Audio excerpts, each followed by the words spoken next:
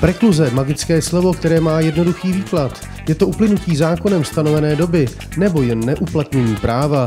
U motoristů, kteří spáchají jakýkoliv přestupek, institut stále častěji využívaný.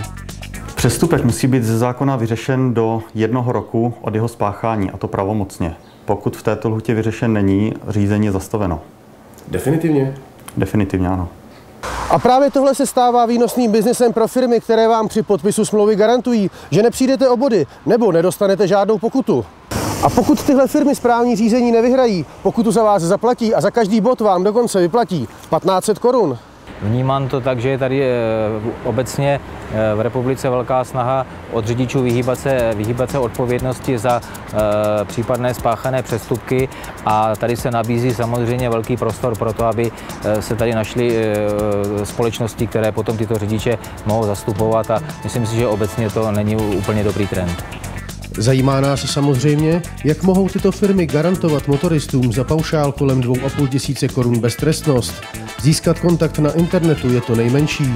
Abych se něco dozvěděl, vydávám se za řidiče profesionála.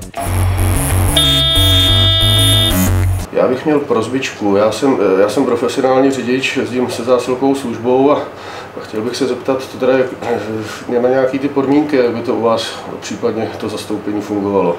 Eh, když vás zastaví policie, tak nic jim nepodepisujete a potom nám zašlete předvolání, co oni vám pošlou a my už to vystavíme plnou moc a řešíme to. A jak to, jak to řešíte? Tomu nerozumím, jako tam máte nějaký známý nebo? Ne, no normálně právními postupy.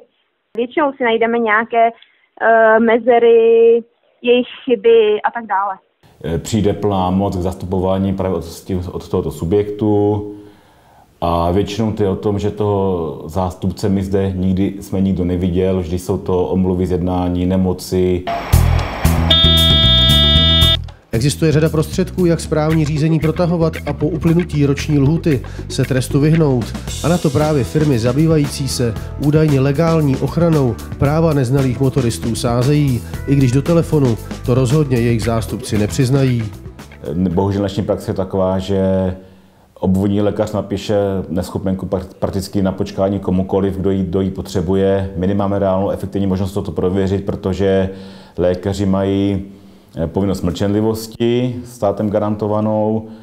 Je to konkurence advokaci, můžeme se bavit o tom, jestli je to legální nebo není protože eh, náš právní řád předpokládá, že soustavné zastupování lidí za úplatu bude vykonávat právě advokacie, která je pod určitou, řekněme, kuratelou advokátní komory, která právě i dbá na to, aby ty advokáti dodržovali základní, řekněme, etické hodnoty. Určitě to není o tom, že by většina těch firm chtěla hájit věcně práva, těch lidí, tak jak to avizuje, že jejich advokáti se o to postarají.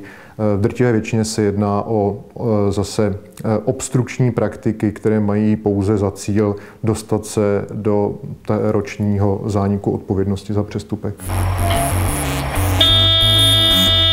Vedle těch zdravotních důvodů jsem se setkal i s případy, kdy byla například dána námitka podjatosti dané úřední osoby, anebo často využívají subjekty eh, dopředu nařízenou dovolenou, s níž potom se omluvají z ústně nařízeného jednání. Prostě využívají toho, že stát nedokáže eh, si ošetřit eh, vedení toho procesu tak, aby nemusel platit tisíce úředníků na místo třeba řekněme poloviny. Další fígl, jak prodloužit proces rozhodování je, že pachatelé přestupků dají plnou moc někomu, koho jen stěží mohou úředníci obeslat. Osobně jsem nedal doručoval Panamu a Nový Zéland. Oakland, tam bylo asi tři písemnosti do Oaklandu. A když ani takhle nejsou firmy zastupující přestupce úspěšné, začínají úředníkům vyhrožovat, že je připraví o práci. Ovšem v tomto případě asi netušili, že si sami pro svou ochranu v Pardubicích nechali na magistrátě města instalovat kamery s nepřetržitým audio i video záznamem. Stačí jen zapnout hlasitý náslech na telefonu.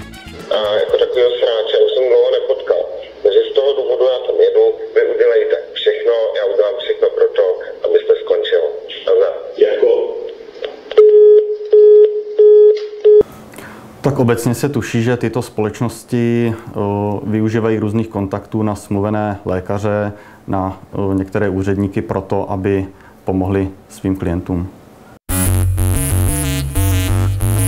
To asi nebude případ magistrátních úředníků. Otázkou je, jestli ne jejich bývalých kolegů z Pardubického kraje. Těm prvoinstančním se zdálo až podivné, že se ztrácejí důkazy ze spisu. Jiné jsou zase posuzovány úplně jinak. Ze zoufalství tedy podali trestní oznámení. Byl to výsledek uh, už uh, dlouhodobého zoufalství některých mých pracovníků, kdy uh, to rozhodování se jim prostě nelíbilo a nepovažovali ho za standardní.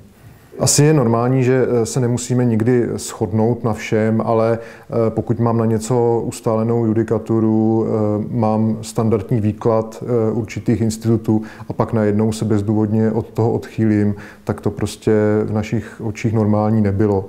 Potažmo se tam prostě staly některé věci, které jsme si už neuměli vysvětlit. Trestní oznámení ovšem bylo policií odloženo. Stejně by to odnesl bývalý šéf pardubické dopravky. Ten společně s kolegou, kteří zvláštní kauzy rozhodovali, už na kraji nepracují. Ale alespoň jeden případ za všechny. Tady na té křižovatce v centru Pardubic zaznamenali kamery městské policie jednoznačný přestupek. Jak vidíte, auto městské policie výjíždí do křižovatky, už jednoznačně na zelenou. Zprava se jim ale vyřítí jiné auto. Dvě zelené ale svítit nemohly. Pane na jakou barvu jste jel? Na zelenou šipku. A červená byla rovně. Na zelenou šipku. Koukám, že si nejste vědom celého dopravního přestupku, takže celou věc se píšeme a pošleme správnímu orgánu. Ano? Takže vydržte. Jednoznačné důkazy, kamerové záznamy nevzal odvolací orgán v potaz. Po jeho opětovném předložení případ označil za nejednoznačně prokázaný. Mně osobně a mým klientům se uh, bohužel nikdy nestalo, že by byly ztraceny důkazy, které by jim nevyhovovaly, což si dovozuju uh, z toho, že jsme asi zřejmě uh, neměli uh, takové vazby, uh, jaké měli jiní obvinění. Prostě některým těm případům já nerozumím ani při nejlepší vůli. Já nechci samozřejmě nikoho napadat, ale při nejmenším je to úsměvné a velmi nápadné. Do vlády sice šel už loni v lednu návrh novely zákona, která byl lhůtu pro vyřešení přestupku zdvojnásobila na dva roky. Tím by prapodivné firmy zřejmě přišly o práci. Ovšem teprve teď návrh posuzuje ústavně právní výbor. Jestli projde, záleží na zákonodárcích. Co když ale některým z nich současná úprava vyhovuje? To je například 50 věcí z roku 2010. Ročně máme 2 věcí.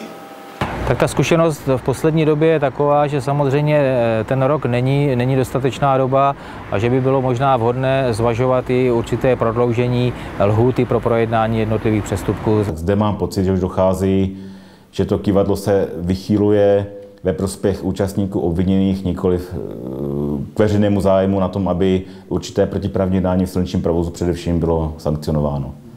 Proč si myslíte, že tedy ten úředník to trestní oznámení podal? Chápete to třeba i z lidského hlediska, nikoli právnického? Eh, osobně z lidského hlediska, nikoli z právnického, musím říct, eh, že mu rozumím. Eh, na druhou stranu se domnívám, že se nejedná o trestný čin ze strany napadaných úředníků. Měl jsem tendence se na to, jak si nad sebou zamyslet, zda to, co dělám, je úplně naplňující Jo, říkal jsem si, že dal jsem si vnitřně ještě tři roky, pokud si do třech let něco nezmění, cokoliv, změna zákona, změna úpravy, tak bych se zvážil, zda, zda má dále smysl pokračovat.